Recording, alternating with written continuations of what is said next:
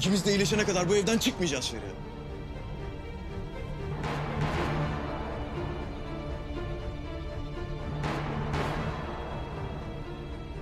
Emir çıkmak istiyorum hemen. Çıkmayacaksın. Ne demek çıkmayacaksın ya? Kendine gel artık. Ben uzun zamandır olmadığım kadar kendimdeyim. Bırak şunu. Hasta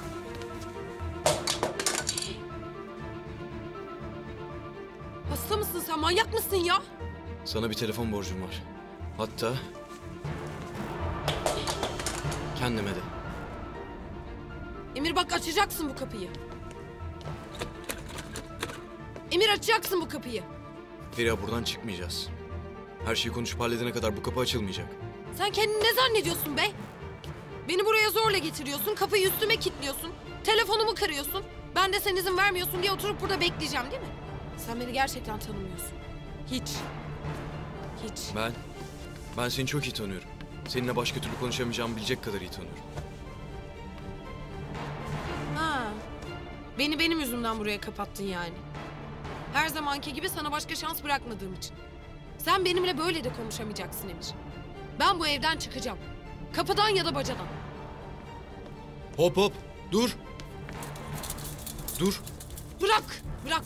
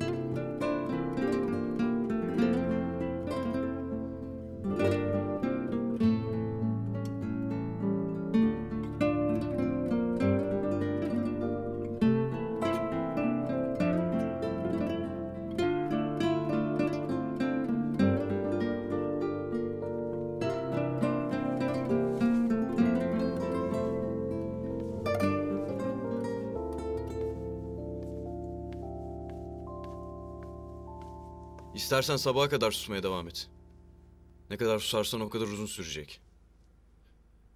Kaç saat oldu konuşmayalı? Karşımda biri varken kendi kendime konuşmak ilginç bir deneyim oluyor. Bak sinirim bozulduğu için değil ama sen böyle susmaya devam edersen ben de saçmalamaya devam ederim. Burada böyle günlerce kalabiliriz. Eğer gerçekten buradan gitmek istiyorsan öyle ya da böyle benimle konuşmak zorundasın Feriha. Peki sen bilirsin. Zamanımız çok. Zaten karşımdasın. Susmandan da şikayet edecek değilim.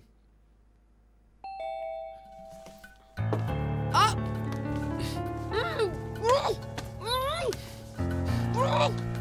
Geç şuraya. Ne yapıyorsun ya? Ne farkın kaldı Halil'den? Haklısın. Belki de bir farkım kalmadı. Beni burada tutamayacaksın Emir. Feriha konuşana kadar burada kalacağız. Ne konuşacağım seninle ya? Neyi konuşacağım? Ne konuşulur ki seninle? Hadi Halil Asla. Sana ne oluyor? Ne açıklaman var ki senin? Benim bir açıklamam yok. Ben işimden geleni yapıyorum. Bunun bedelini ödeyeceksin. Buradan çıkar çıkmaz şikayet edeceğim seni. Bunun cezası neyse çekeceksin. Feriha, eğer sonunda seninle konuşmayı başarabilirsem hiç şikayet etmeden cezasını çekeceğimden emin olabilirsin. Sen gerçekten ne yaptığının farkında mısın? Bu ne kadar sürecek sanıyorsun? Beni daha ne kadar böyle burada tutabilirsin ki? Sana bunu defalarca söyledim. Her şeyi konuşana kadar. Seninle bu şekilde böyle zorla ne konuşacağımı zannediyorsun? Sen konuşsan dinleyecek miyim ben? Seni asla dinlemeyeceğim. O zaman dinleyene kadar buradan çıkamayacaksın Feriha. Nasıl böyle gözünün önü senin? Nasıl mı? Anlatmamı ister misin? İstemiyorum. Gözüm döndü. Çünkü karım bir kez olsun bile beni dinlemedi. Çünkü karım bütün o dedikodulara izin verdi. Ha dedikodular. Tabii başka ne olabilirdi ki? Yine tek sorun senin egon değil mi? Senin egonu zedeleyen dedikodular. Zaten konuşacak başka bir şey yok değil mi? Var, konuşacak çok şey var.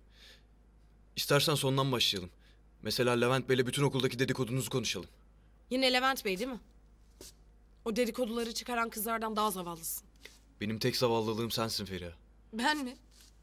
Ben kimim ki? Neyim ki ben? Senin çizilmemesi gereken karizmanın, incinmemesi gereken egonun yanında ben kimim ki? Karizma megom değil. Mesele kalbim. Anlasana. Bana sakın kalbim deme. Sakın. Beni buraya konuşmak için değil, dedikoduları kaldıramadığın için getirdin sen. Emir Sarrafoğlu'nun karısı evi terk etmiş yurtta kalıyor. Bir de Levent Bey'le adı çıkıyor. Senin derdin benimle konuşmak değil. Dedikoducuları susturmak. Benim tek derdim bu anlamsızlığa bir son vermek. E beni buraya getirmen anlamsızlık. Bunun işe yarayacağını düşünmen anlamsız. Sen karını evine getirdin işte. Herkesin ağzını kapattın. Başka bir amacın yoktu zaten. Saçma sapan dedikoduları kulaklarını kapatamadın, beni eve kapatıyorsun. Herkes çenesini kapatıp Levent Bey saçmalığını unutana kadar beni burada tutacaksın. Sonra? Sonra ne olacak? Sen o kapıyı açtığında ne olacak Emir?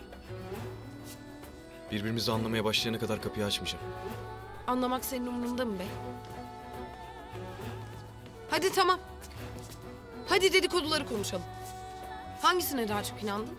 Seni Levent Bey için terk ettiğime mi yoksa başından beri gizli bir ilişkim olduğuna mı? A pardon daha fazla devam etmemem gerekiyor değil mi yoksa bir tokat daha yerim. Sana bir daha asla vurma.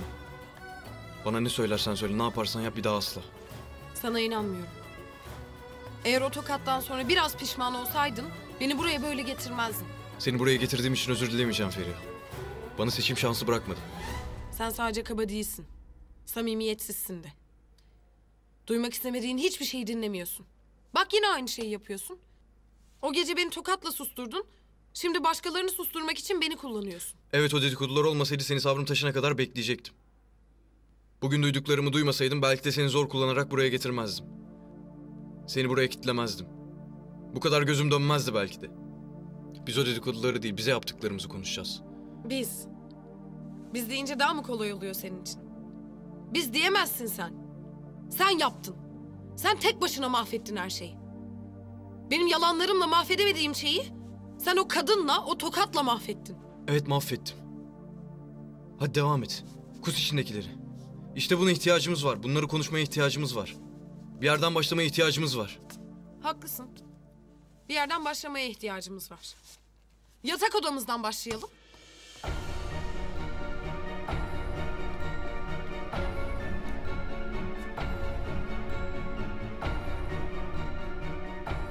Yatak odasını değiştirmek mükemmel bir jest değil mi?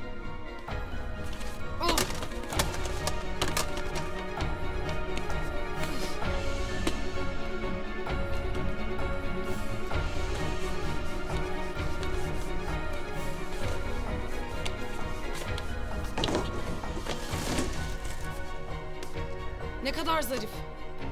Kağıdıyla kendimizi kandıralım.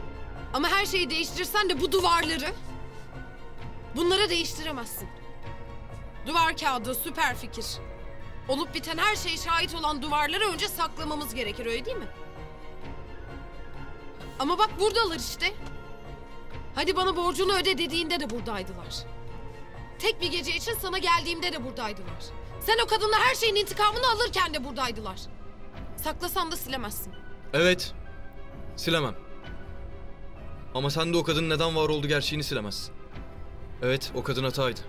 Ama biliyor musun? Ben senden ne kadar özür dilesem de o kadın sadece benim hatam değildi.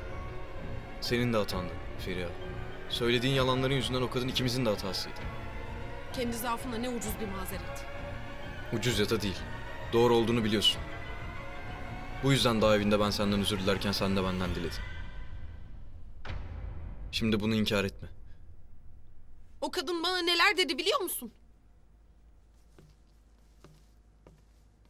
Bana neler söylediğini, o gece neler yaşadığımızı bilemezsin dedi. Bilemem ama merak ediyorum gerçekten. O kadınla geçirdiğin geceyi hatırlıyor musun? Ha? Ha yoksa hatırlayamayacak kadar sarhoş muydun? Ne konuşmuştunuz mesela? Ya da konuşmuş muydunuz? Tabii ki konuşmuştunuz. Neler söylemiştin ona? Gözlerinden, mesela saçlarından bahsettin mi?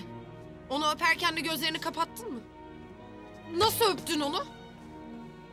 Beni öptüğün gibi mi? Şefkatli mi? Yoksa daha mı tutkulu? İşte böyle öptüm.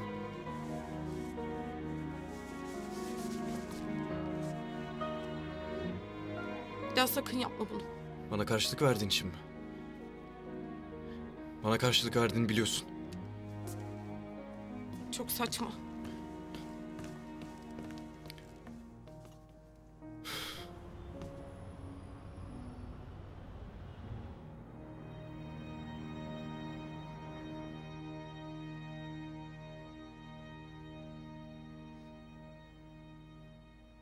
Bak. İkimiz de şu an normal değiliz. Bu kafayla konuşamayız. Tamam konuşmamız gerek. Bunu ben de kabul ediyorum ama böyle olmaz. Benim sakinleşmem lazım. Sana bir şeyler söylemeye, seni dinlemeye hazır olmam lazım. Emir ben buradan çıkmak istiyorum. Daha fazla çirkinleşmek istemiyorum. Şimdi sen kapıyı açacaksın. Ben yurda gideceğim. Bu manyaklığı unutacağız. Bir süre birbirimize yaklaşmayacağız. Sonra dışarıda bir yerde buluşup her şeyi konuşacağız tamam mı? Tamam değil. Ne demek tamam değil? Ferhat seni tanıyorum. Bu kapıdan çıkacaksın ve bir daha benimle karşılaşmamak için elinden geleni yapacaksın. Tek başına düşünüp tek başına karar vereceksin. Kendimi de tanıyorum. Nereye gidersen git seni bulup yine buraya getireceğim. O yüzden hiç zaman kaybetmeye gerek yok. Sen o kapıyı istesen de istemesen de açacaksın Emir. Bu saçmalık böyle devam etmeyecek. Duyuyor musun beni? Kurtulacağım bu saçmalıktan. Ya sen insan gibi beni bırakacaksın ben gideceğim. Birkaç gün ne kadar delirdiğini unutmaya çalışacağım. Ya da ben sana o kapıyı açtıracağım ve ne hale düştüğünü asla unutmayacağım.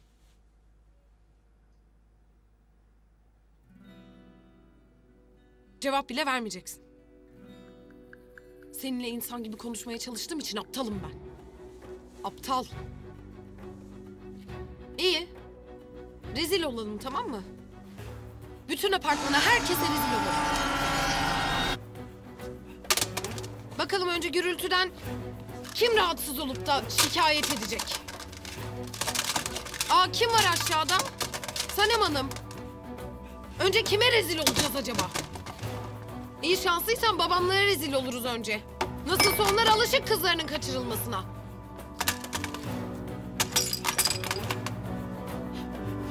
Emir?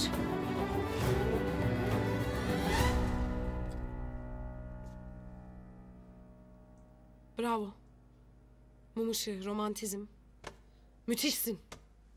Mum ışığı. Kesinlikle daha sakin.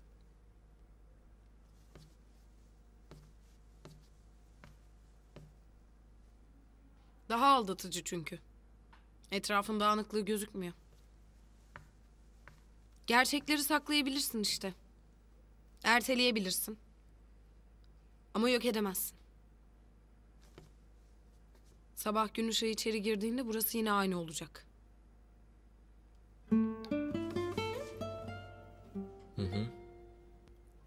Evet.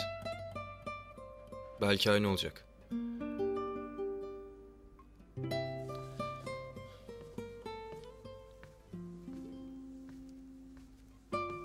Ama biz aynı olmayacağız.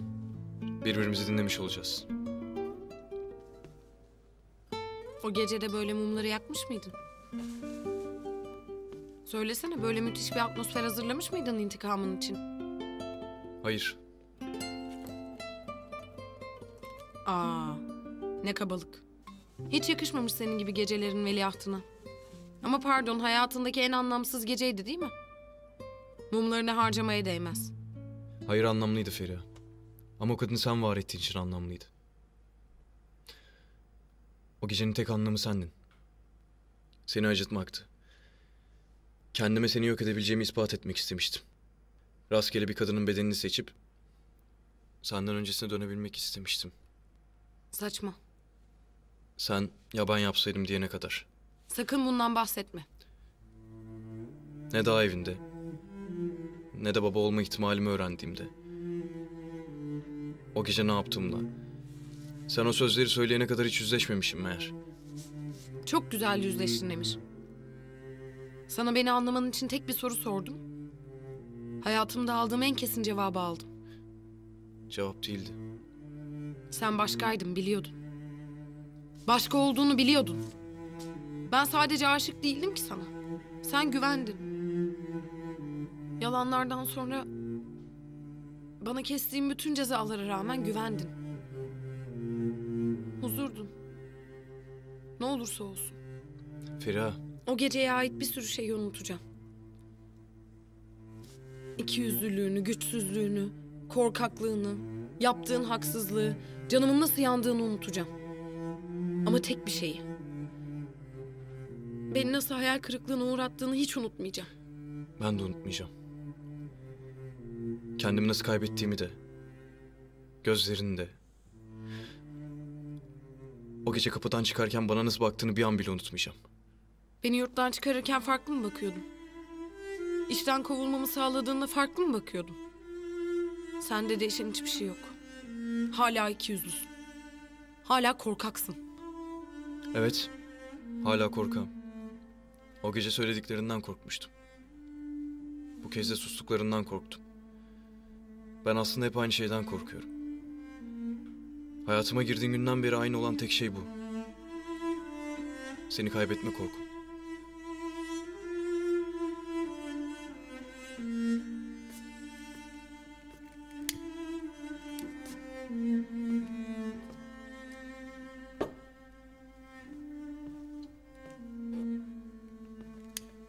Beni bu evden gitmeye mecbur bırakırken neredeydi senin kaybetme korkun? Yoktu çünkü artık evliydik değil mi? Evliliği bir kez bile garantimizmiş gibi görmedim. Mehmet'ten, babamdan, Gülsüm'den hiçbir farkın yok senin. Onlar için evlilik neyse senin için de o. Bu söylediklerine gerçekten inanmıyorsun. Bunu hak etmediğimi biliyorsun. Hak etmiyorsan ispat et. O gece sorduğum soruya cevap ver. Hadi. Verebilir misin? Bana yaşattıklarını ben sana yaşatsaydım. Benden beklediğin anlayışın ne kadarını bana gösterebilecektin? Ne kadar aptalca bir soru değil mi? Cevabını zaten bildiğim bir soru. Cevabını bilmediğim bir soru Feriha. Yalan. Hayır gerçekten cevabını bilmiyorum. O adamla beraber olsaydın sırf benden intikam almak için. O herifi gebertir miydim, çekip gider miydim, bir daha yüzünü görmek istemez miydim bilmiyorum. Ama tek bir şey biliyorum. Seni affetmesem de bir daha yüzünü görmek istemesem de bitmeyecekti. İçimde bitmeyecekti. Duydun mu beni? Bak cevap verdim işte sana. Hadi artık sen de cevap ver. Bitti mi? Bunu yapamayacaksın işte. Beni günlerce burada tutsan da sana duymak istediğim bir şey söylemeyeceğim. Duymak istemediklerimi söyle o zaman. Duymaktan korktuklarımı söyle. Biliyorsun zaten duymaktan korktuğum her şeyi. Hepsi dilin ucunda. Sana aşık olduğum ilk günden beri beni yere yıkan da, yerden kaldıran da her şey senin dilin ucunda. Eğer sadece dilimin ucundan çıkanlara tahammül edemeyip bana vurmasaydın... Evet belki bu söylediklerine inanabilirdim. Sana vurduğumda Sakın. Ne olur bana aynı masalı anlatma inanmıyorum. Sen beni yurttan buraya böyle getirdin ya. Söyleyeceğin hiçbir şeye de pişman olduğuna da inanmıyorum. Aynı şey değil. Aynı şey. Konuşmama da susmama da gücün yetmediğinde yaptığın şey hep aynı. Bak, bana inadını konuşarak kırmam için tek bir fırsat verseydin İnat. Sen böyle anlıyorsun değil mi? Kuru inat. Ben böyleyim senin için değil mi? Yurda çıkmam, çalışmaya başlamam, seninle konuşmaya hazır olmamam. Bunların hepsi inatçı olduğum için değil mi? Seni pişman etmek için inat ediyorum ben. Bu kadar basit. basit değil. Tamam. Defalarca söyledim. Ama benim yaptığım şey de basit değildi. Peki gerçekten bu kadar zor mu Feriha? Bu kadar mı imkansız ya? Hayatında sana haksızlık yapan herkesi affederken Cansu'yu ya. Cansu'yu affetmekten bahsediyordun bana. Benim tek bir an için kendimi kaybetmemi affetmem bu kadar zor mu? Söylesene bana. Sen babanı kaç kez affettin? Mehmet'i kaç kez affettin? Onları kaç kez affettiğim umurumda değil. Sen onlardan biri değildin Emir. Ben onlardan korktuğum gibi senden korkmayacağım. Duydun mu? Senden korkmayacağım. Benden korkmamanın tek yolu bana arkanı dönmem mi? Bana senin gücün olduğunu söylemiştin. Bana vurduğunda güçsüz olduğunu söylüyorsun. Peki neden her şeye rağmen ben elini tutmaya çalışırken kendi güçsüzlüğüne yenildin? Yoksa sorun bu muydu? Benim her şeye rağmen yanında kalmaya çalışmam mı? Buna mı gücün yetmedi? Her şey çok üst üste geldi.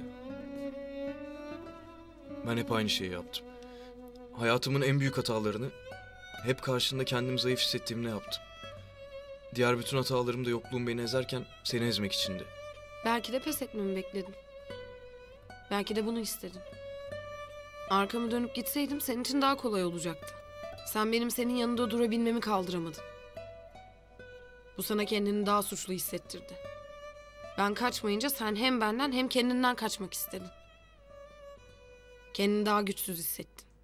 Çünkü ilk kez her şeyi sen mahvetmiştin değil mi? Kendimi hiç o gece buradan çıkarken hissettiğim kadar değersiz hissetmemiştim. Ben seni güya bir yıl boyunca kandırdım ya. Kendimi hiç bu kadar kandırılmış hissetmemiştim. Çünkü senin yanında bana bir şey olmazdı. Senin yanında kimse bana zarar veremezdi. Ben senin yanında güvendeydim. Ben o geceden beri sana güvenmiyorum. Bana yine güveneceksin. Ben sana nasıl yeniden güvendiysem sen de bana güveneceksin.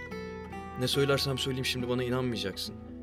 Sana bir daha asla böyle bir şey olmayacağını sadece yanımda kalırsan gösterebilirim Feriha. Yanımda kal. Feriha lütfen yanımda kal. Kalmayacağım. Kalmayacağım. Beni buraya zorla getirdiğini asla unutmayacağım. Güvenmeyeceğim sana. Bana hiçbir şeyi unutturamayacaksın.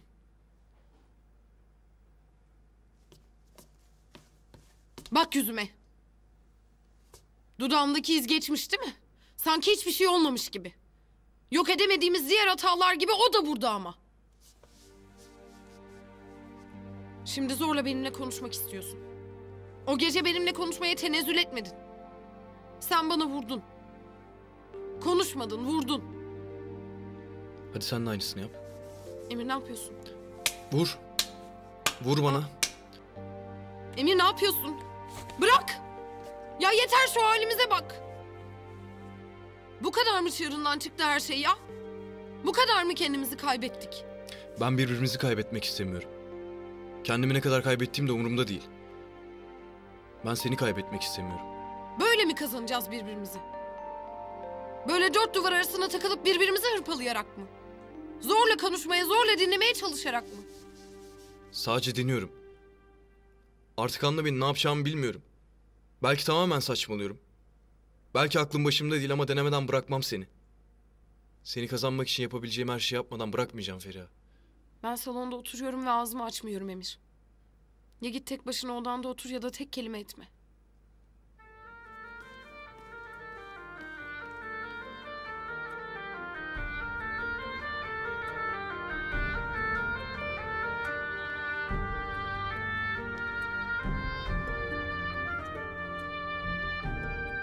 Ben sana mecburum bilemezsin. Adını mıh gibi aklımda tutuyorum. Büyüdükçe büyüyor gözlerin. Ben sana mecburum bilemezsin. İçimi seninle ısıtıyorum. Sevmek kimi zaman rezilce korkuludur. İnsan bir akşamüstü ansızın yorulur. Tutsa kustur ağzında yaşamaktan. Kimi zaman ellerini kırar tutkusu. Birkaç hayat çıkarır yaşamasından. Hangi kapıyı çalsa kimi zaman arkasında yalnızlığın hınzır uğultusu. Ne vakit bir yaşamak düşünsem bu kurtlar sofrasında. Belki zor, ayıpsız. Fakat ellerimizi kirletmeden. Ne vakit bir yaşamak düşünsem. Sus deyip adınla başlıyorum. İçim sıra kımıldıyor gizli denizlerin. Hayır, başka türlü olmayacak. Ben sana mecburum bilemezsin. Atilla İlhan aşka böyle inanmış işte. Biz inanmadık mı?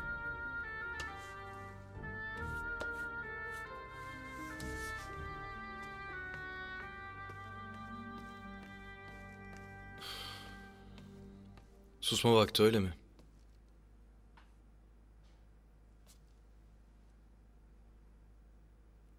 Beni buraya kapattığın için seni ödüllendirmeyeceğim. İşe yaramadığını göreceksin. Ne görüyorum biliyor musun? Konuşmak için çıldırdığını ama sırf seni buraya getirmek işe yaramasın diye inatla kendini tuttuğunu görüyorum. Peki. Böyle istiyorsan böyle olsun. Susalım. Ne kadar susarsak o kadar uzun sürecek nasıl olsa.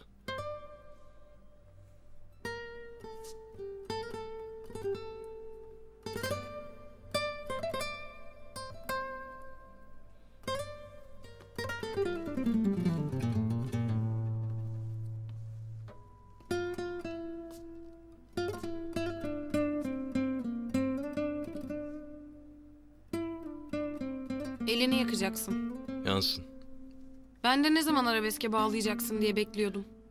Biliyor musun? Şu an uzun zamandır olmadığım kadar huzurluyum. Sen beni çıldırtmaya mı çalışıyorsun? İkimiz de yeterince çıldırmış görünüyoruz.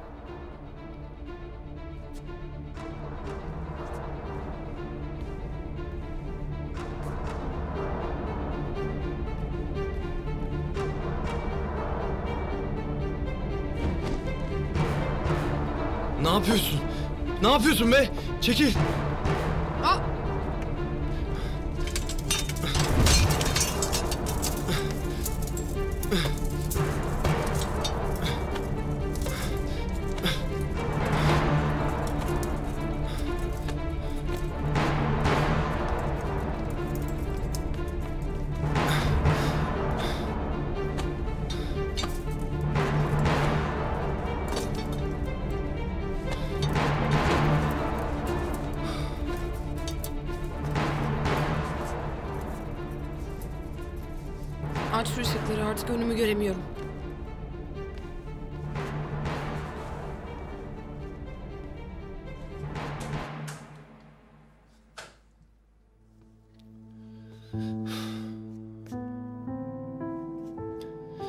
Şu hale bak ya.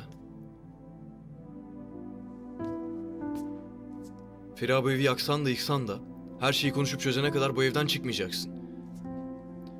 Beni çıldırsan da seni çıldırsam da buradasın. Hangisi seni daha çok çıldırttı? Ben mi baba olma korkusu mu?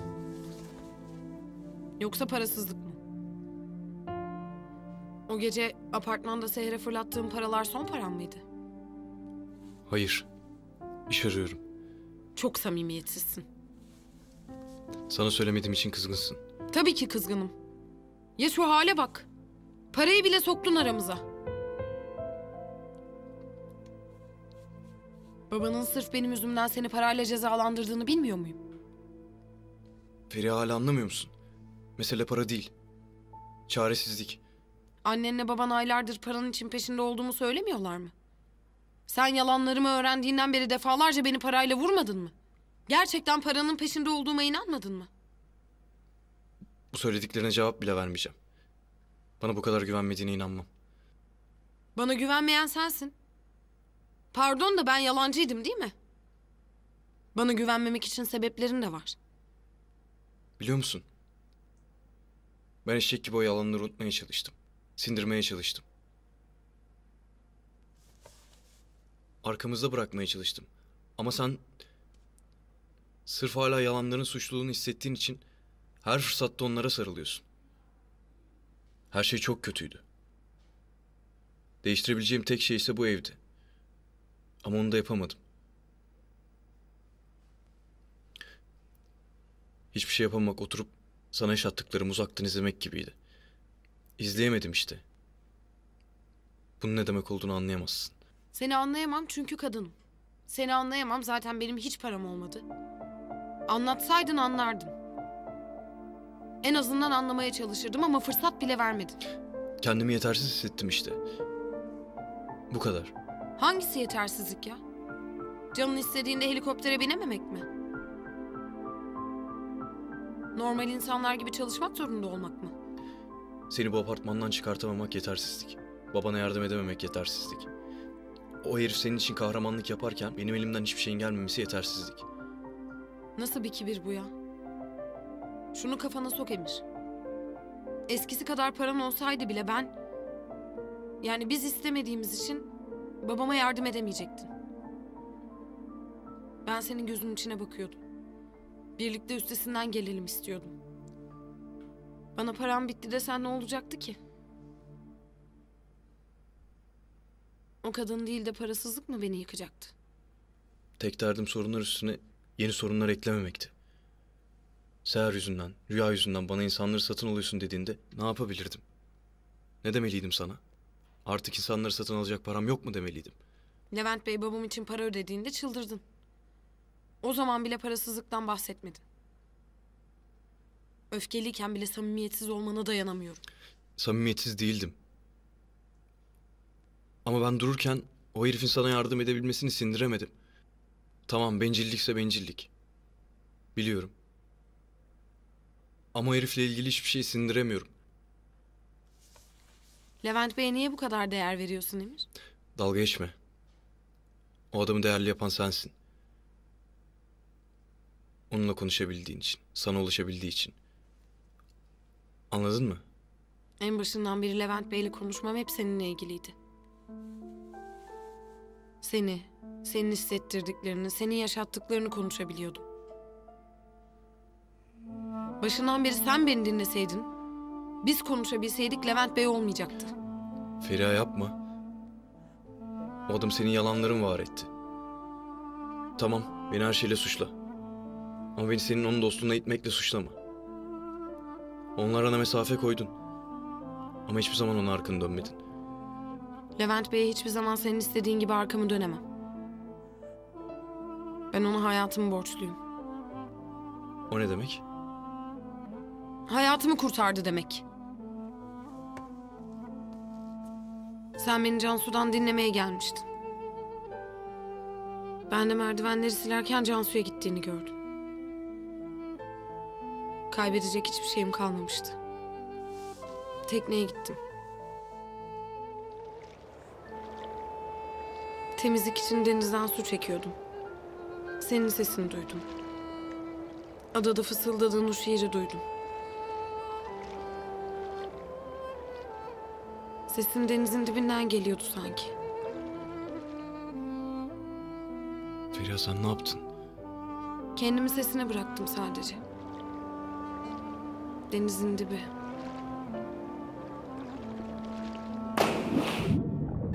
O an o kadar huzurluydum ki.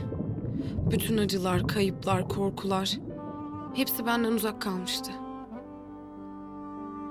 Sonra Levent Bey beni yukarı çıkardı. Dipten.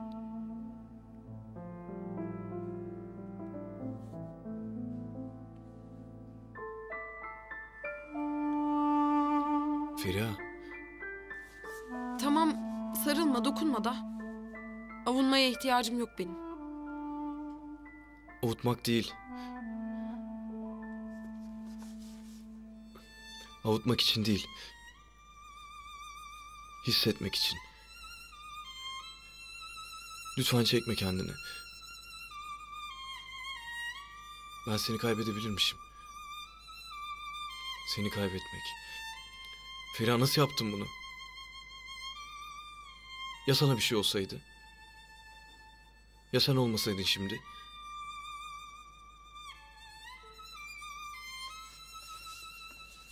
Şimdi aylar önce zayıf bir anımda olmuş bir şey yüzünden birbirimize sarılmayacağız. O kadar kolay değil. Şimdi ne halde olduğumuz... Ne halde olacağımız umurumda değil. Ben sana sarılmak istiyorum. Beş dakika önce de bundan farklı bir şey istemiyordum. Beş dakika, beş gün, beş yıl sonra da bundan farklı bir şey istemeyeceğim. Yapma işte diyorum Emir. Yapma bunu. Biz buraları geçtik. Anlamıyor musun? Hiçbir şey olmamış gibi devam edemeyiz. Feriha ben bunu yapmaya çalışmıyorum. Yemin ederim amacım bu değil. Baksana bize. Biz birbirimize yaklaştığımızda böyle oluyor işte. Çözülüyoruz, dökülüyoruz, sonra başa dönüyoruz. Sonra yine olduğumuz yere geliyoruz, görmüyor musun?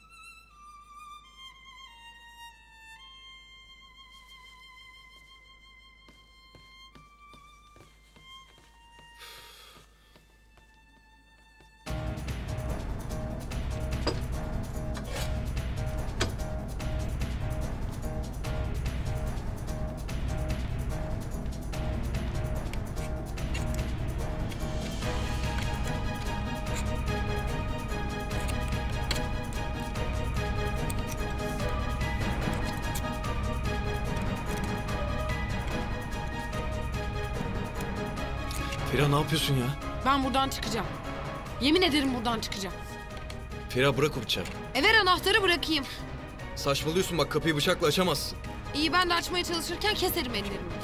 Bırak şunu oyuncak değil o. Emir, anahtarı ver o zaman. Bak oyuncak değil o. Feriha bırak şunu. Aa! Aa!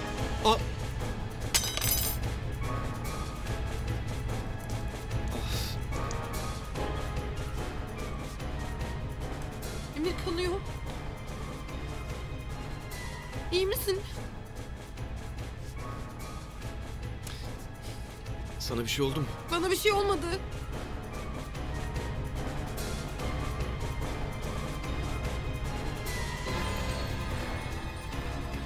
Emir bu çok kötü kanıyor.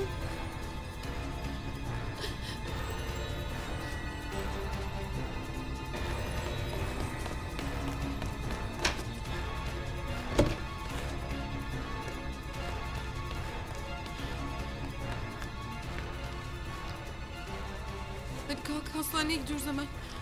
Hiçbir yere gitmiyoruz. Emir durmuyor bu. Ölmek mi istiyorsun?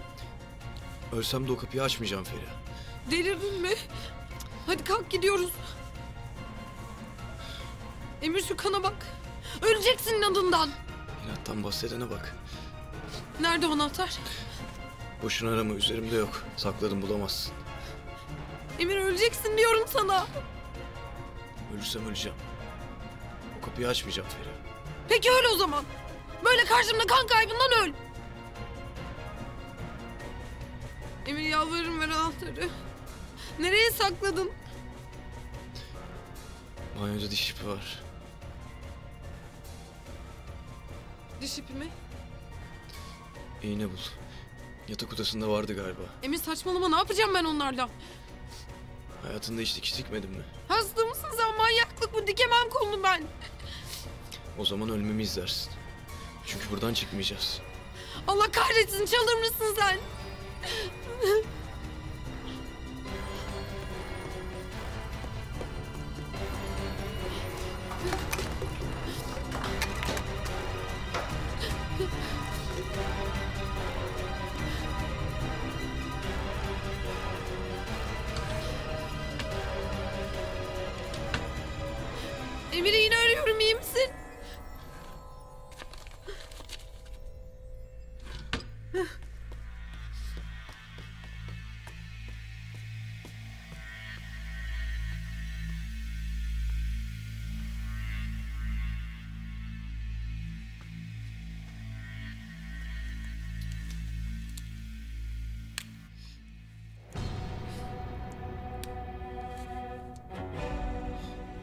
Sakın kımıldama tamam mı?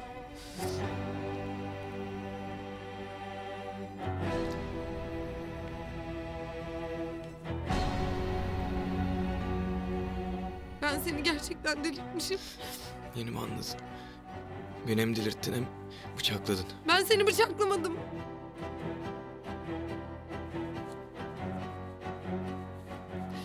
Kımıldama şimdi. Dur.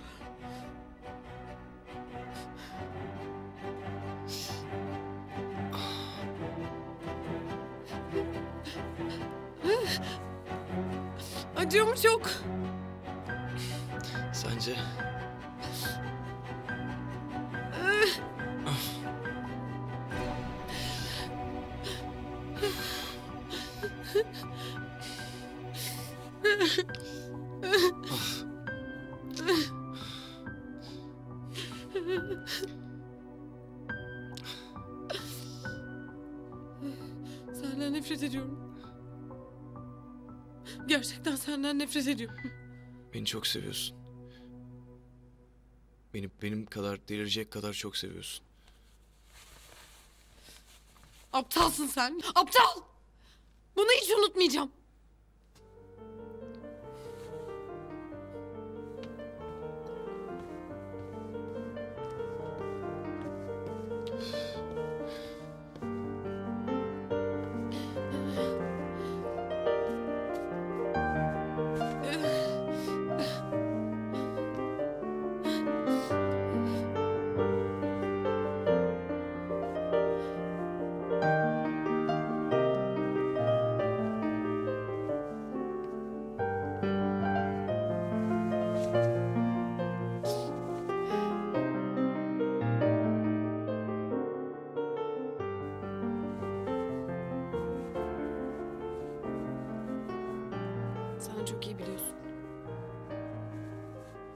Hayatımda senden önce kimse olmadı.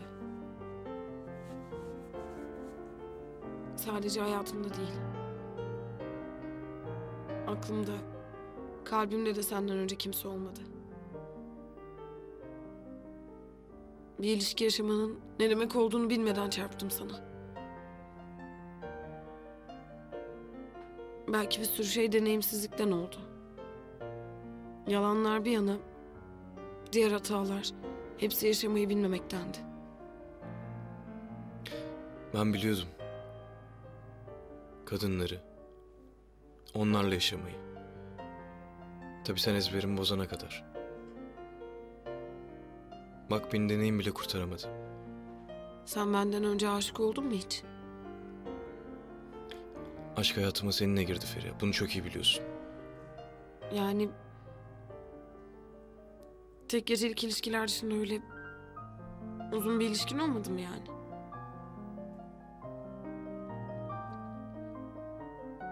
Komik olma Emir.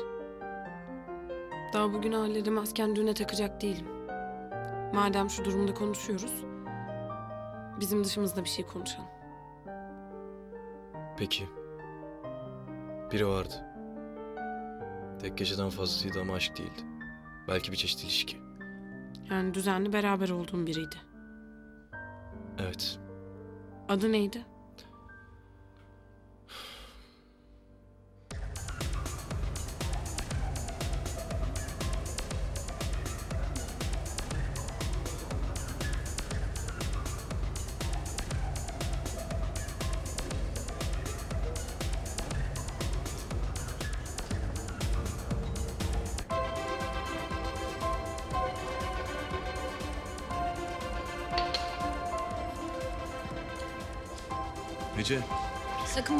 Geceyi bitiriyoruz deme.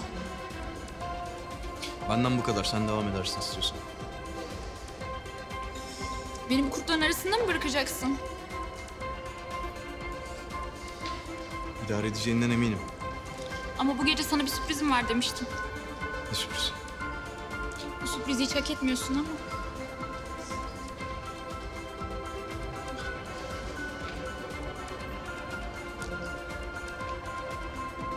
Ne yaptın sen ya? Eşimdeki kurtları reddetmenin kolay yolunu buldum.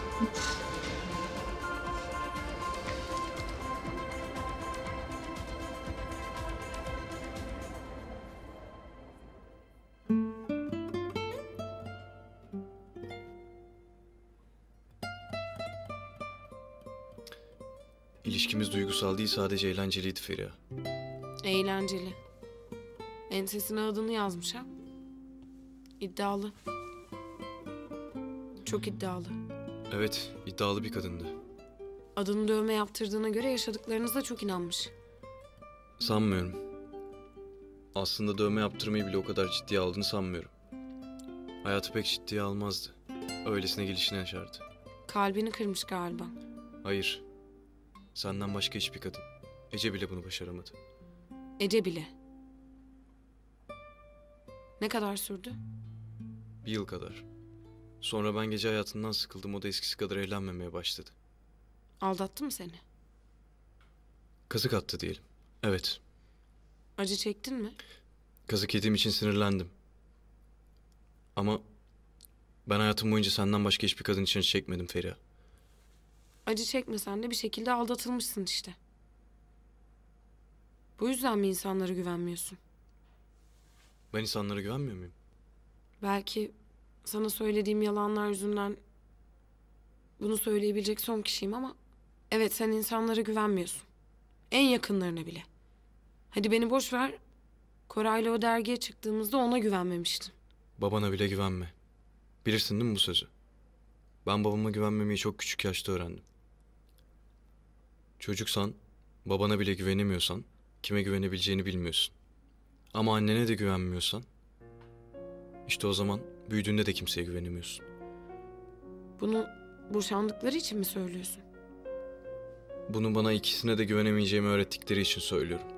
Konuşmak mı istemiyorsun, hatırlamak mı istemiyorsun? Zaman insanın çok şey unutturuyor ama çocukluğunu unutturamıyor. Annenle baban çocukluğuna imzasını atıyorlar. Ve o gün yaşadıklarını istesen de istemesen de bugüne taşıyorsun. Bak, ben de taşımışım işte. Hem de kaç kere.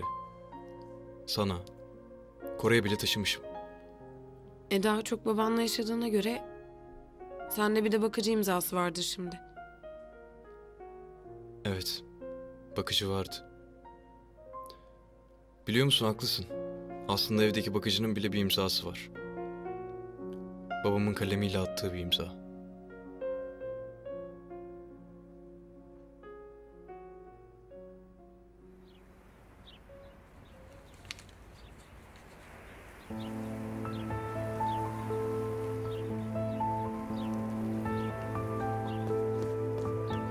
Ah!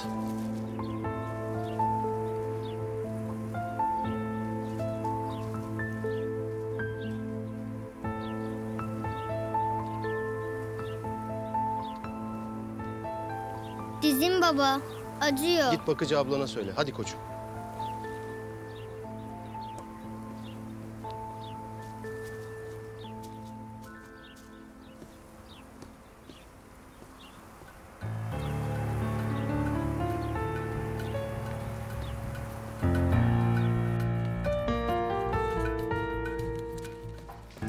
Zeynep abla.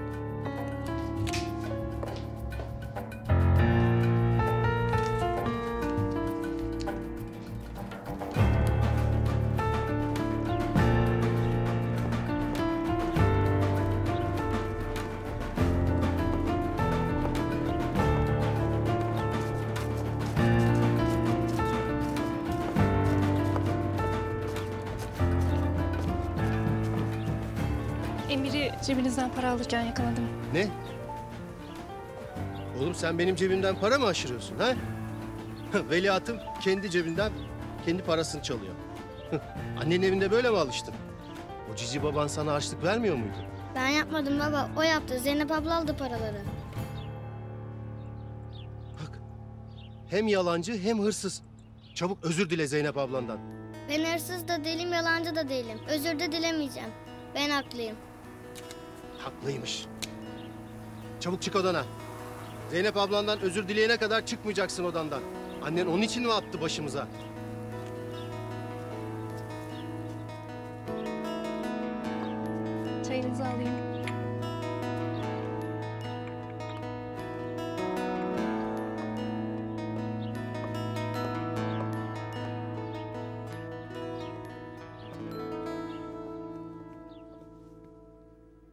Babam kötü bir insan değil, kötü bir baba demiştin bana.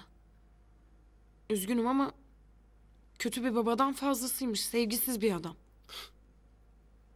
En çok kadınları seven bir adam diyelim. Babam ve kadınlar. Her zaman çocukluğumun bir parçası oldu.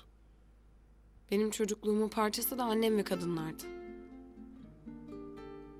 Demiştim ya, çocukluğum en çok annemin temizliğe gittiği evlerde geçerdi. Tabii en çok Cansu'nun evinde.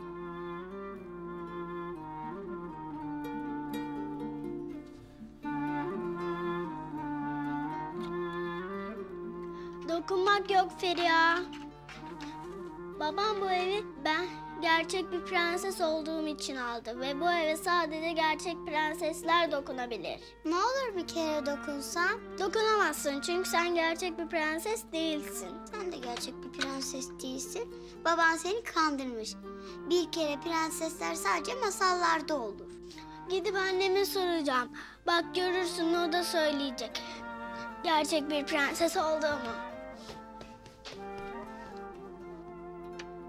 Feriha'ya bir şey söyle anne. Baban seni kandırıyor diyor bana.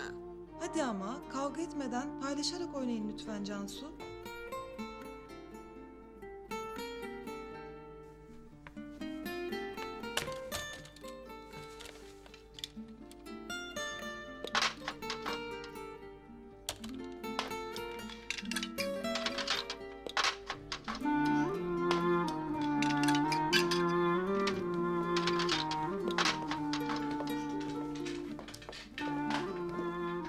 Anne bak kırmış işte. Kazayla oldu. Vallahi billahi kazayla oldu. Hayır mahsus yaptım biliyorum. Sen prenses değilsin diye. Cansucuğum, tamir ederiz. Olmadı yenisini alırız. Hadi üzme arkadaşını. O da oynamak istemiş işte. Feriha'cığım, hadi sen de evine hayatım. Temizlik de bitti nasıl olsa. Annen seni evde bekliyor. Hadi canım.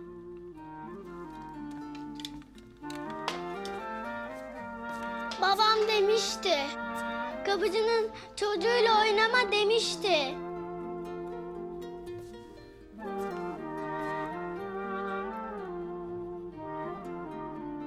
Belki de haklıydı. Farkında bile olmadan kıskanıyordum onu. Feriha çocuktun sadece. Sadece çocuk değildim işte. Kapıcının çocuğuydum.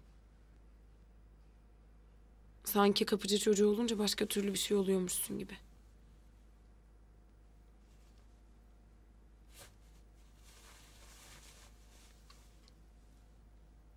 Bazen içimde öyle bir öfke buluyorum ki. Geçmişimi, bugünümü, yaşadığım, yaşamadığım her şeyi, anıları, hayalleri, herkese hepinizi boğabilecek bir öfke buluyorum. Sonra bir şey oluyor.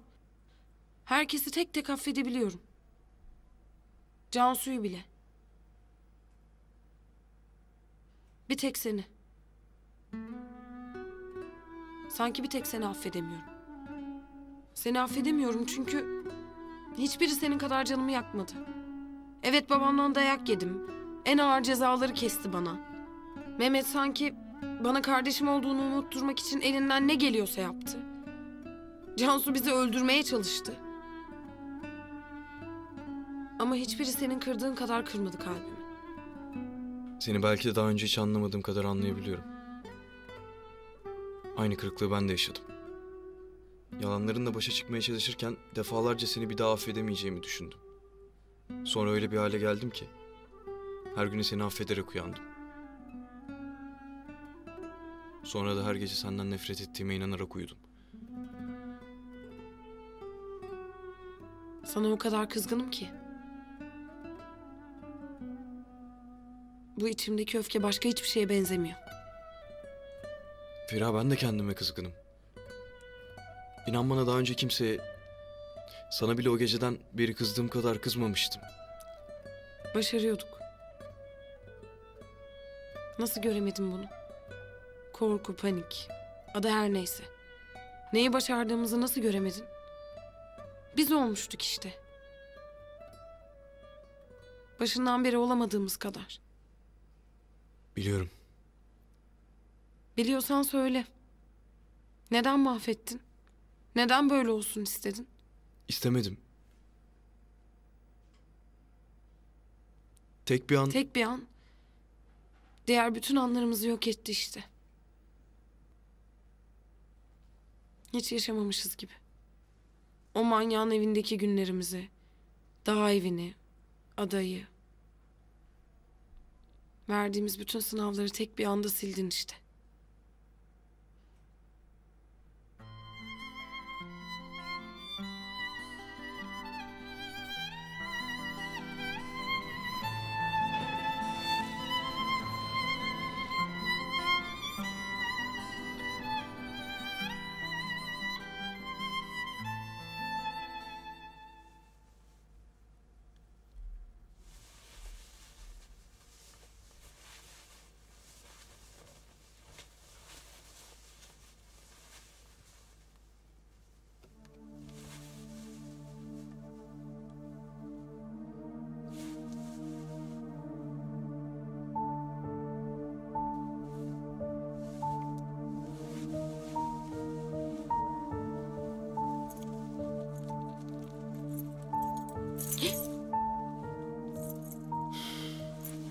Kaçamayacaksın. Emir ne olur bırak gideyim lütfen. Bana nasıl dokunduğunu hatırlıyor musun? İşte bu yüzden seni bırakmam. Birbirimize bana sarıldığında verdiğin güç kadar ihtiyacımız var. Ben hayatımın en kötü ve en güzel günlerini seninle geçirdim. İlk aklına geleni söylesene. Helikopter. İlk aklıma gelen.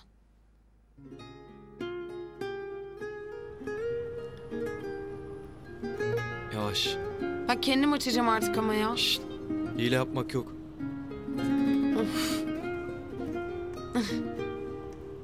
Kaldır ayağını. Emir bu ne? Dikkat et. Kay birazcık. bir serçe kuşuyu Yapayalnız sana sığındı Beni bırakma Bu ses ne? Bekle, birazdan göreceksin. Geldim kapına Hayat sanki en büyük zalim Beni sakla avuçlarında. Sakın bırakma.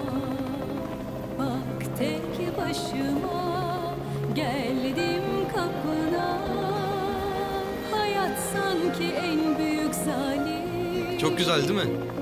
Beni sakla avuçlarında Sakın bırakma Sevdalı bakışınla Yüreğimde dağlar devrilir Ben mi uyandırdım? Yok hissetmedim bile. Nasıl oldu? Küçük kırmızı ayakkabılar yüzünden. Anlatsana. Sen gerçekten susmadan konuşmamızı istiyorsun. Şimdiye kadar konuşmadığımız zamana say.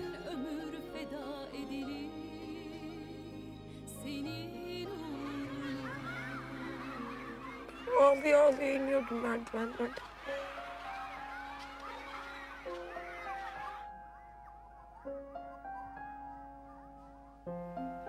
Seni görmüştüm.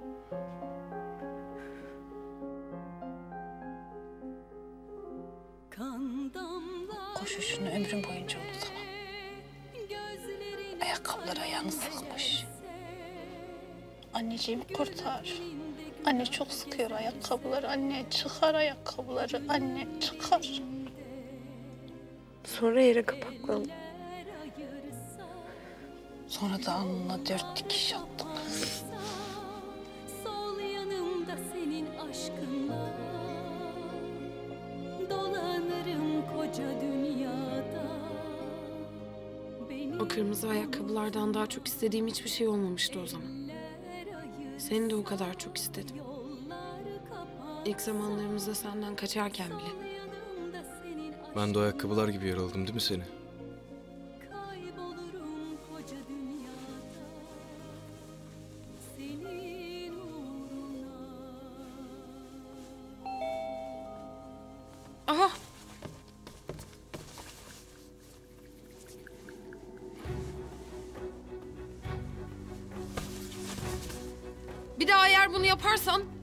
Neyi yaparsam?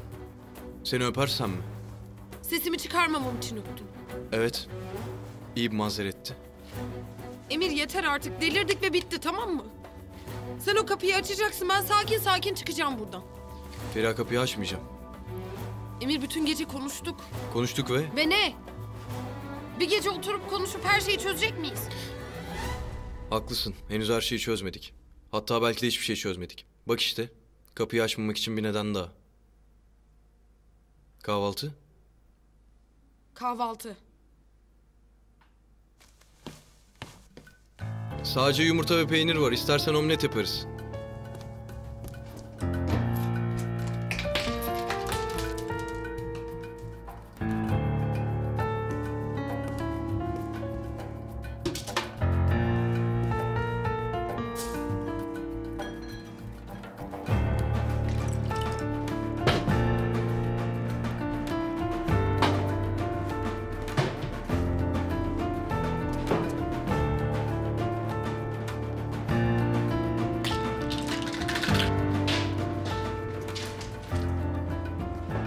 Yapıyorsun sen ya?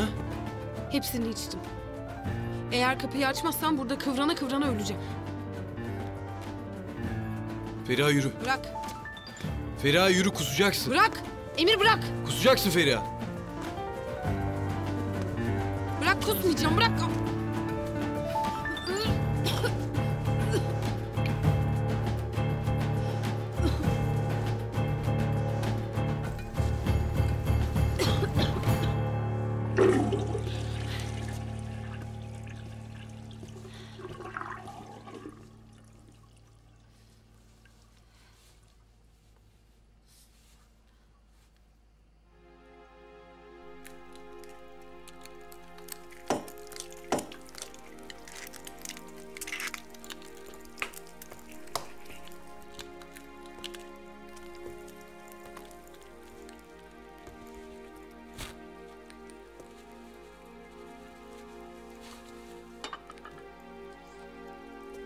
Şuna su koyar mısın? Kahvaltı mı hazırlayacağım bir de seninle? Midem boş. Bir şeyler yemen lazım. Yemeyeceğim bir şey. Peki.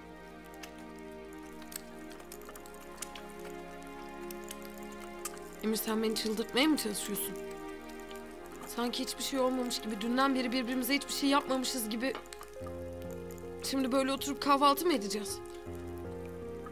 Kahvaltı yapmak zorunda değilsin. Sen sıkılana kadar burada kalmak zorundayım ama. Emir nereye kadar? Nereye kadar devam edecek bu manyaklık? Bak kolum mikrop kap- kapacak. Hadi yeter bak çıkalım buradan. Senin doktora gitmen lazım. Git doktora.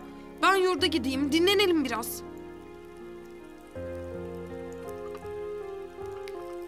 Duymuyor musun beni? Şimdi sesimi mi duymuyorsun? Bunu da mı duymuyorsun?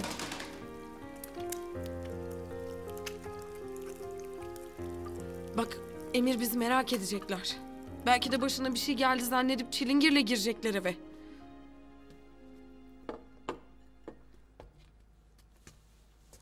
Emir duyuyor musun sen beni? Bana bir şey olmadığını görüp geri gidecekler. Emir bu yaptığın çocuk oyuncağı gibi bir şey ama. Hiçbir işe yaramayacak. Emir duyuyor musun beni? Gerçekten mi? Sabaha kadar konuştuklarımızın hiçbir anlamı yok mu? Hiçbir işe yaramadı mı? Emir işe yaramayacak. Gerçekten işe yaramayacak. Peki göreceğiz.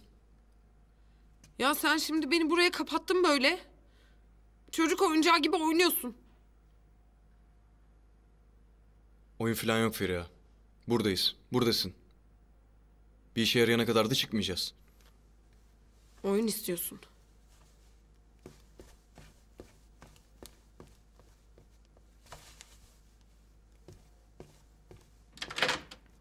Biraz da böyle tek başına oyna o zaman. Feriha şu kapıyı. Açmıyorum. Bakalım hangimiz daha çok saçmalayacağız. Bak işte oyuna çeviren sensin. Böyle olmasını sen istedin.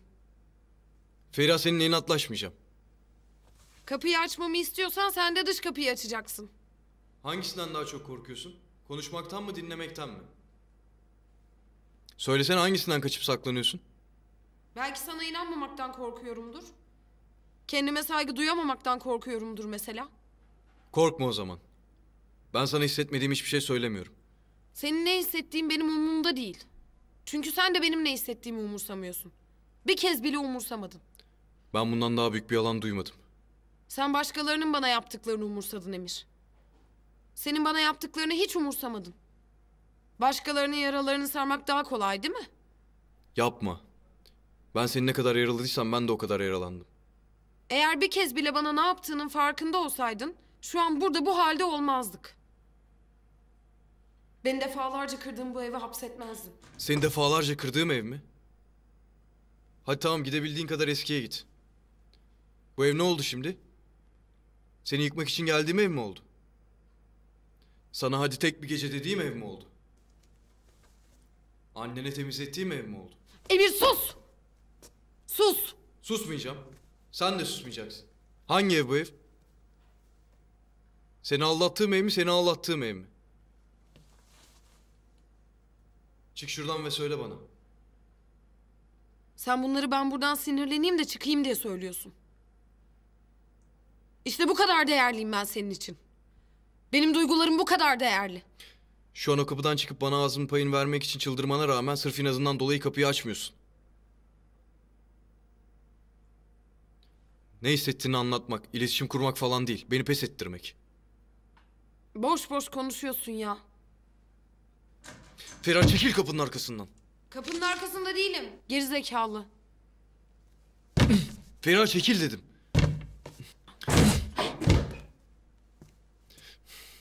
Çık dışarı. Pes. Pes. O kapının arkasına saklanmana hiç gerek yoktu. Zaten istediğinde öyle kalın duvarlar örüyorsun ki aramıza. O kapı ne ki? E niye kırdın o zaman kapıyı? Çünkü tahammülüm yok. Aramıza sokacağın gerçek ya da yapay hiçbir engele tahammülüm yok. Benim de yoktu. Bu yüzden olanlara rağmen yanında kalmaya çalıştım.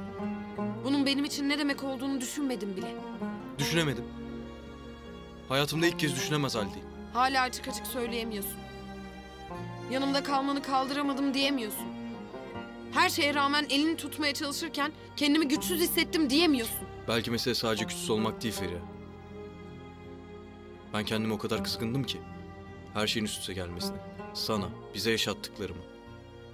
Mesele belki elini tutmayı hak etmememdi. Belki de eline uzanacak gücü kendimde bulamadım.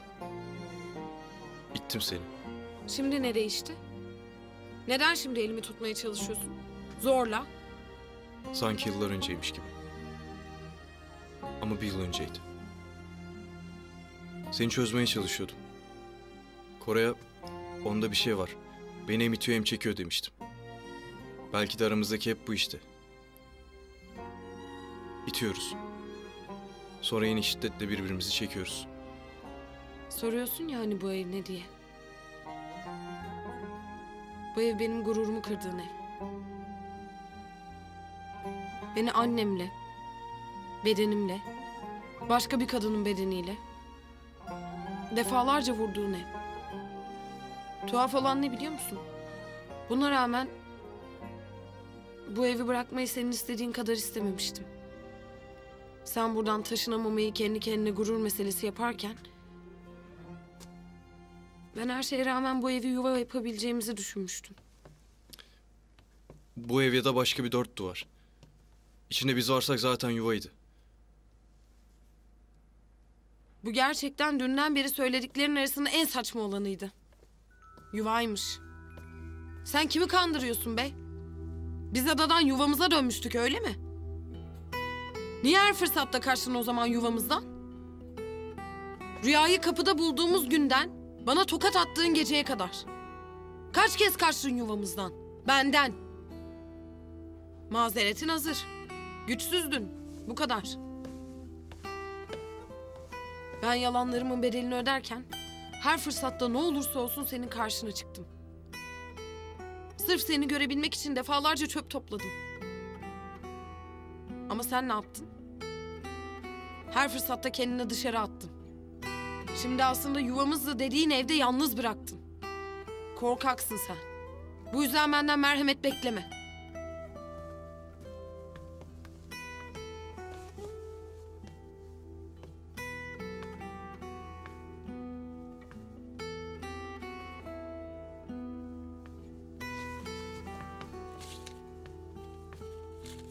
Bunu açmadın mı? Ne o? Demek görmedim bile. Çocuğunuzun fotoğrafları. Bak, Bunun burada ne işi var? bir düşün bakalım ne işi var burada?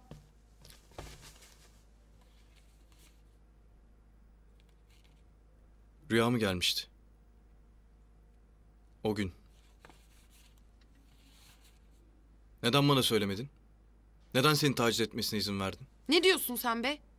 Kim izin istiyor benden? Hangisi beni taciz etmek için izin istiyor? Annem. Annem de geldi değil mi? Eğer bana söyleseydin... Ee ne olurdu sana söyleseydim? Zavallı kız ben evde yokken neler yaşamış. Ona karşı daha anlayışlı olayım mı diyecektin. Üzerime gelirse bir tane patlatmayayım bari mi diyecektin. Ne? Annem sana ne söyledi? Bilmediğim bir şey söylemedi. İyi zamanlarımızda benim sizi yine anne oğul yaptığımı söylerdi. İyi yönde. Şimdi hala sizi anne oğul yaptığımı söylüyor ama kötü yönde. Aslında ne güzel değil mi? Olmayan aile bağlarını güçlendirdiğim için kendimi iyi hissetmeliyim.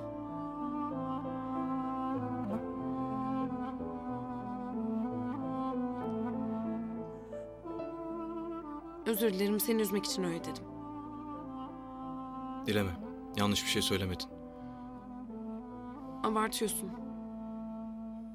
Ben de abarttım. Annenin benden bu kadar nefret etmesi bile seni ne kadar önemsediğini gösteriyor.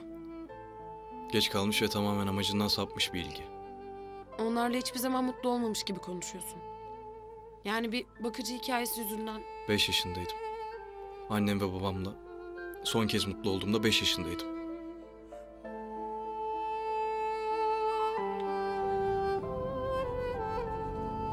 Anne bak nasıl olmuş anne güzel olmuş mu?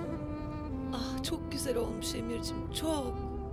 Babam da beğenir mi sence? Bence beğenecek. Anne duvarını asar mı sence? Eminim asacak. Şimdi biz dönüyoruz ya babam çok sevinecek değil mi anne? Evet çok şaşıracak, çok sevinecek hayatım. Ne kadar kaldı anne? Emir bak, geldik bile.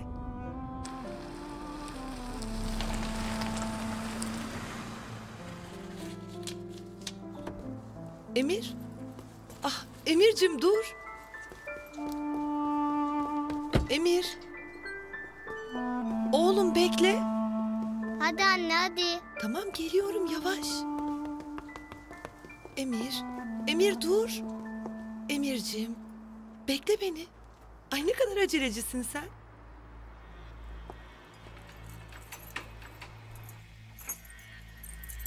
Hadi bakalım.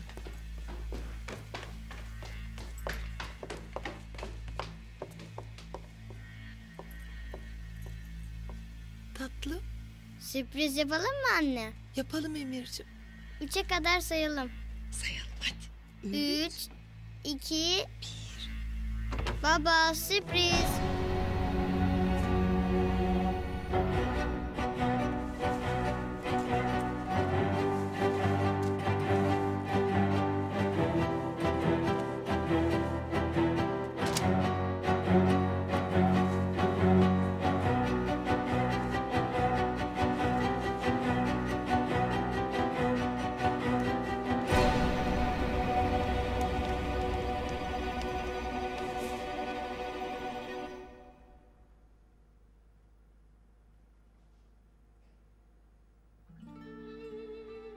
Şey çok hızlı oluyordu. Ben merdivenlerde otururken sadece sesleri duyuyordum. Annemin sesi, babamın sesi. Topuklu ayakkabıların sesi.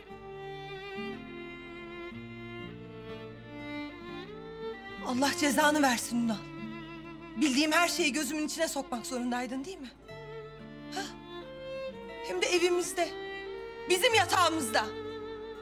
Aysun bir dakika konuşalım. Kalmadı. Konuşacak hiçbir şey kalmadı.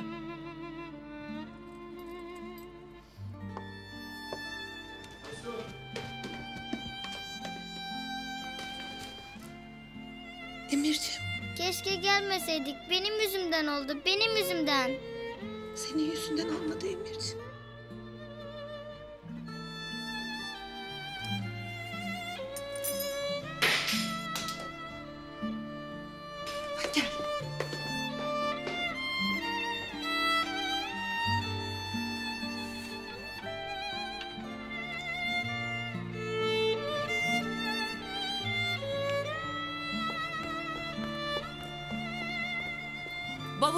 Arabaya geri koy. Hemen gidiyoruz bu evden. Emir bin arabaya. Gidelim bu evden. Hemen.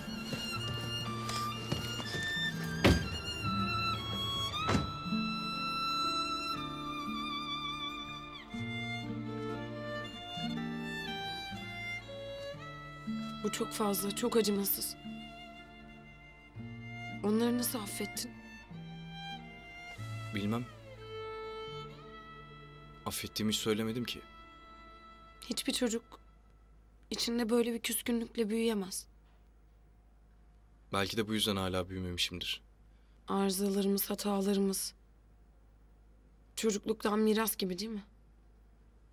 Benim komplekslerim, senin öfken, güvensizliğin. Biz nasıl başarmışız bunu? Neyi? Birbirimizi bu kadar tanımadan bu kadar çok sevmeyi. Bana bunları hiç anlatmamıştın. Bunları aklımdan geçirmeyeli uzun zaman oldu. Çocukluk böyle işte gölge gibi. Peki ne zamana kadar annenin yanındaydın? 10 yaşında babamın yanına geri döndüm. Ömer kadarmışsın. Annen seni nasıl bıraktı? 10 yaşımdayken annemin sözünü tutamamasının tek sebebi bendim. 17 yaşımdayken yaşadığım her şeyin suçlusu onlardı. Görünürde canım babası yüzünden beni bıraktı ama aslında kendi zaafları yüzündendi. Babam yanlış seçimdi. Ve ben de bu seçimin canlı bir kanıtıydım. Annemin hayatını temize çekmesi gerekiyordu. Vazgeçti. Benden vazgeçti.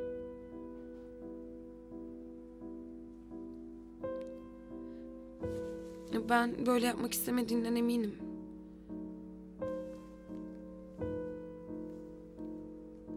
Beni çok kırıyorsun Rıfat. Emir'in sana ne zararı var? Neden onu bu kadar çok istemiyorsun? Aysun, biz hayatımızda yeni bir sayfa açıyoruz diye yola çıktık. Bak yakında bir bebeğimiz olacak. Ben senin bebeğimizle ilgilenmeni istiyorum. Sen Emir yüzünden benim bebeğimizle ilgilenmeyeceğimi nasıl düşünebilirsin? Aysun, Emir çok problemli, çok sorunlu bir çocuk. Senin bütün vaktini, bütün enerjini nasıl aldığını görmüyor muyum sanıyorsun? Sen benden oğlumdan vazgeçmemi istiyorsun. Ben oğlumdan nasıl vazgeçerim? Ben kendi oğluma nasıl arkamı dönerim? Ben elimden geleni yaptım Aysun. Başka bir adamın çocuğunu tolere edebileceğimi düşündüm ama edemiyorum işte. O adamın çocuğunun bizim evimizde olmasına katlanamıyorum. Çok üzgünüm. Seçimini yap. Ya bizimle bize ait olan hayatı seçersin ya da oğlunu. Ben daha fazla dayanamıyorum çünkü.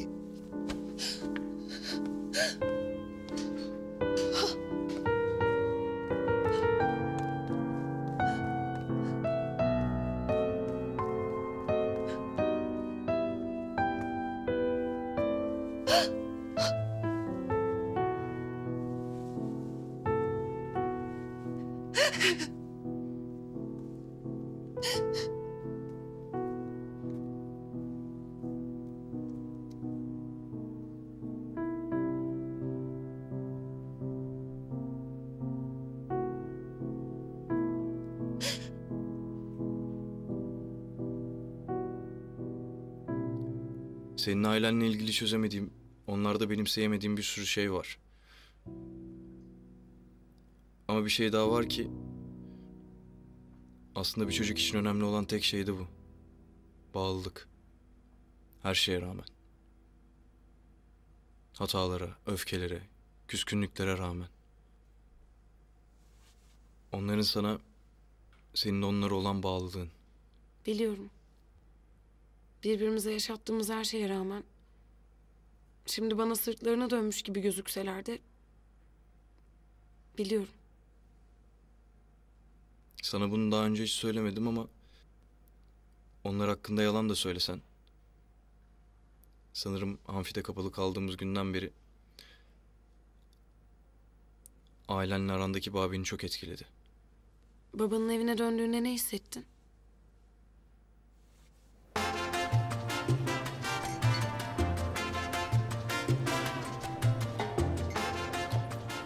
Babamın evine döndüğüm ilk gece hissettiğim tek şey özlemdi. Annemi özlemiştim.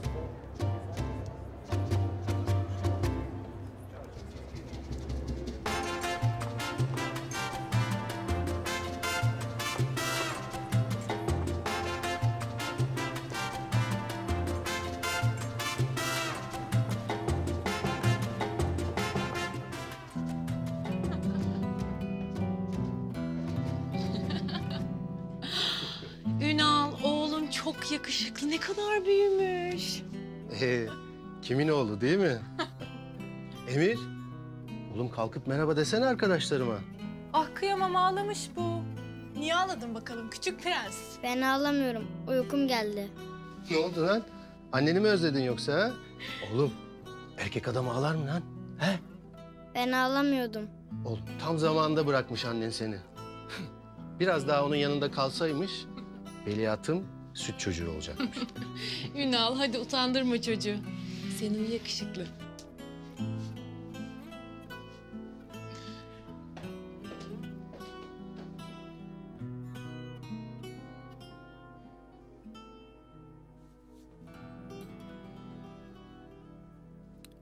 İşte babama döndüğüm ilk gece gürültüydü yani. Neden bana daha önce hiç anlatmadın? Ben senin bu kadar yalnız olduğunu neden bilmedim? Yalnızlıkla başa çıkabilmeyi çok erken öğrendim. Kalabalığa karışmak, düşünmemek ve yalnızlıktan bahsetmemek. Galiba ben içimdeki her şeyle böyle baş ettim. Yani annenin seni babana gönderdiğini biliyordum ama... Böyle bir hikayenin olduğu aklımın ucundan geçmemişti. Yani...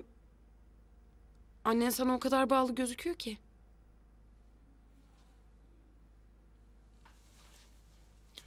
Annem ona ihtiyacım varken yanımda olamadı. Şimdi de ona ihtiyacım olmadığını kabullenmek istemiyor. Hastalıklı bir şekilde beni senden kurtarmak istiyor. Ve bizi bir şekilde sen bağlıyorsun işte. Benden nefret ediyor. Sen mazeretsin Feriha. Annemin ben buradayım. Ben senin annenim deme yolusun. Benim de hatam var. Onunla hiç yüzleşmedim. Sana olan bu takıntısının sebebini bildiğim yüzüne vurmadım. Ama bunu yapacağım.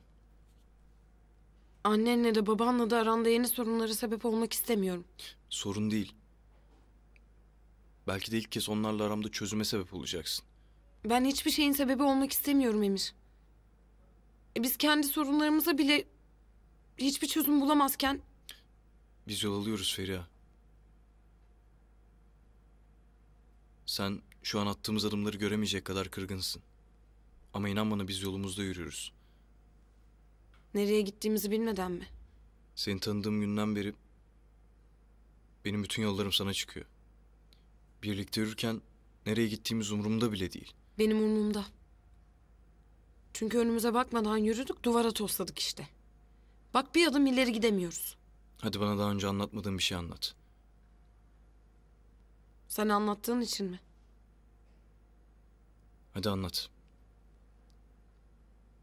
Aylar önce ben de seni bu eve kitlemiştim. İlk kez o zaman konuşmuştuk galiba.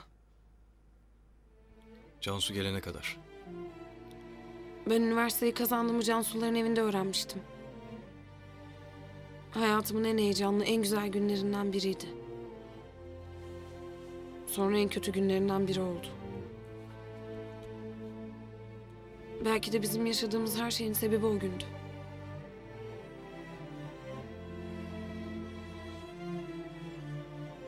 Kazanamadım.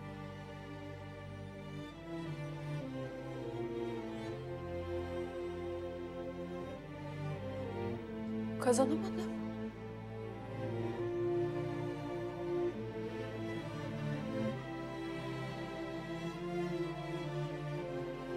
Feriha, e, sen istersen aşağı in. Bir an önce annenlere müjdeyi ver. Tebrik ederim tekrar.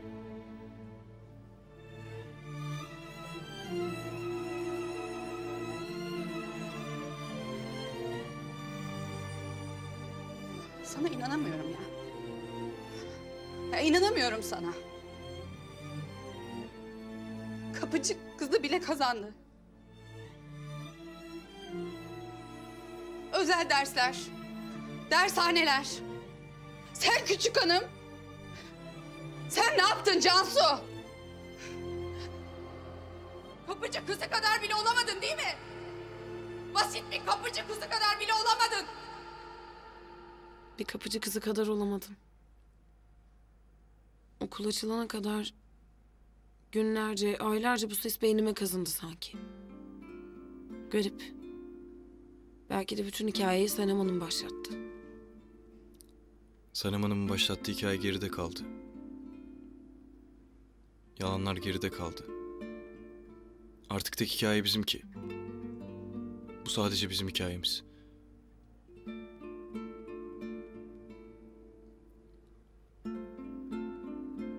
Bana böyle dokunmanı o kadar özlemişim ki.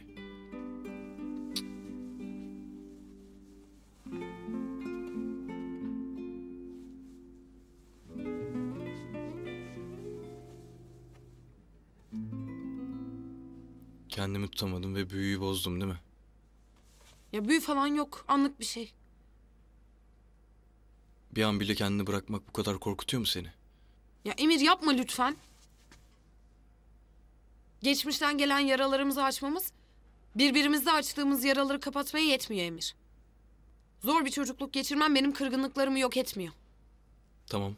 Ben acıların çocuğu olduğumu iddia etmiyorum zaten. Babanın yanında ne kadar acıların çocuğu olabilirsin acaba? Babamla büyümek. Kulağa eğlenceli geliyor değil mi? Eğlence. Sınırsız eğlence.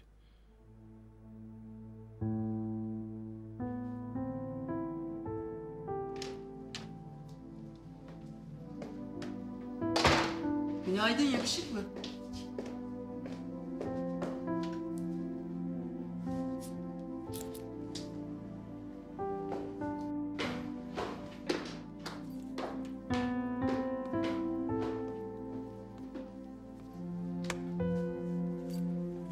Ne o?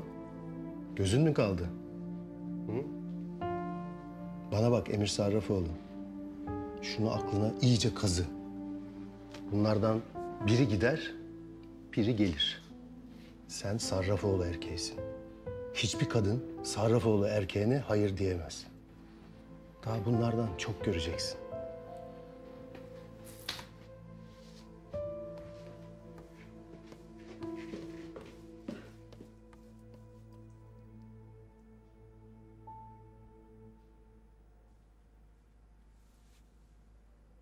En azından egonun kaynağı konusunda yanılmamışım. İnkar edemem. Sana arabayla çarptığım güne kadar şu Sarrafoğlu erkeği efsanesine kesinlikle inanıyordum. Kendimi özel mi hissetmeliyim? Hayatımdaki tek özel şey olduğunu biliyorsun. Bunu inkar edemem. Sen bana dünyanın en özel kadını olduğumu hissettirdin. Ama sonra beni yerin dibine soktun. Feriha arızalarım var biliyorum. Hatalarım var. Ama bütün kusurlarımdan, hatalarımdan, bütün kötü özelliklerimden daha büyük olan tek şey sana olan aşkım. Bunu biliyorsun. Neden ben? Neden sen? Neden?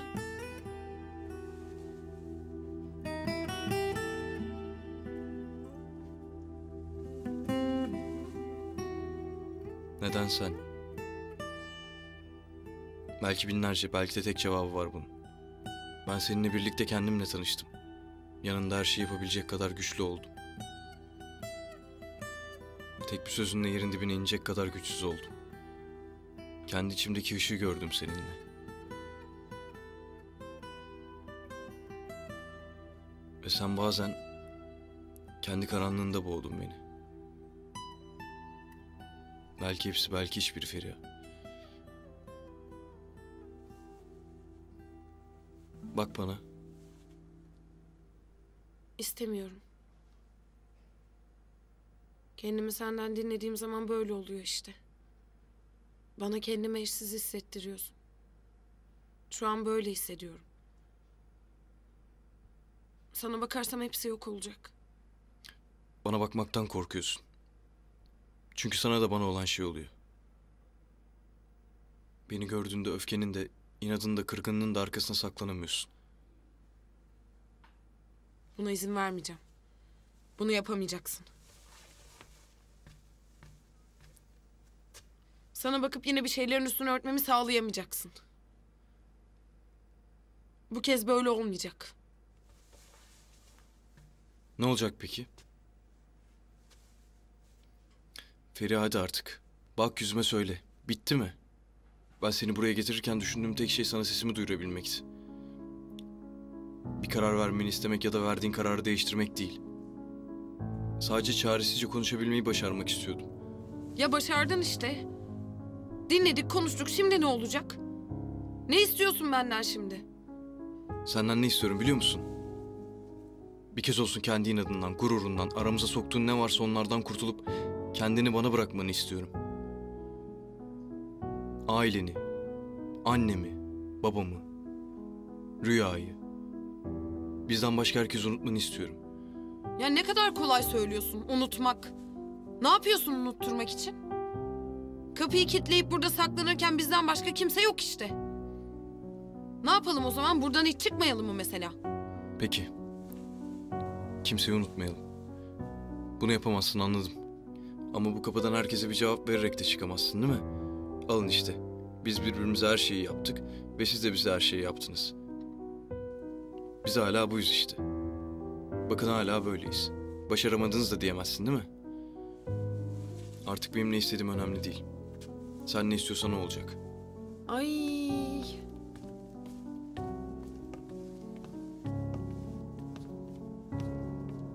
Yine bütün yükü bana bırakıyorsun öyle mi? Önce beni bu evden gitmeye mecbur bıraktın, şimdi burada durmaya mecbur bırakıyorsun. Mecbur değilsin. İstemediğin hiçbir şeye mecbur değilsin. Kendimi çok yorgun hissediyorum. Feriha bak birbirimizi yorduk biliyorum. Pes etmek istemiyorum. Buna izin vermek istemiyorum. Bak ben anlatamıyorum. Pes etmek pes etmektir. Yorulmak yorulmaktır. Buna izin verip vermemen hiçbir şeyi değiştirmez.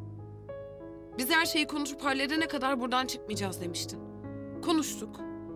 Bak evi harabeye çevirdik. Neyi hallettik?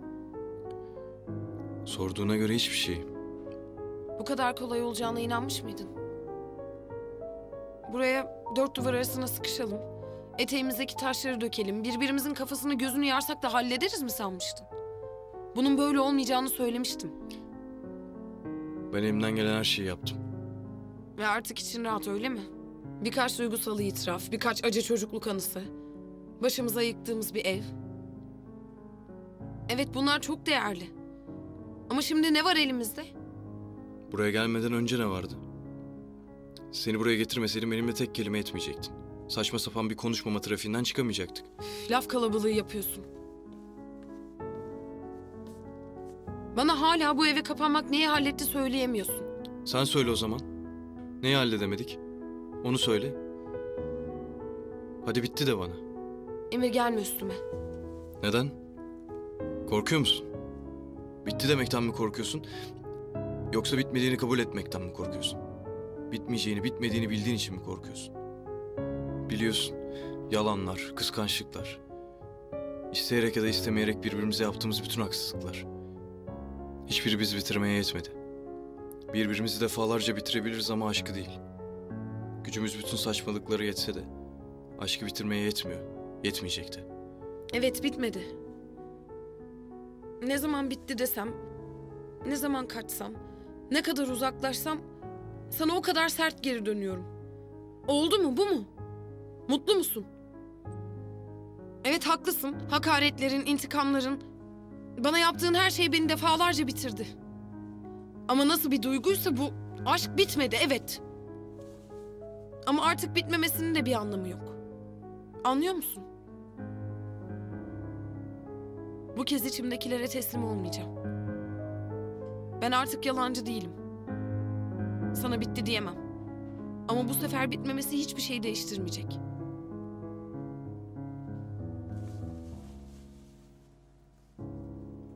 Haklıymışsın. Başaramadık. Onlar kazandı, biz yenildik. Yenilgiyi de kabullenmek lazım değil mi?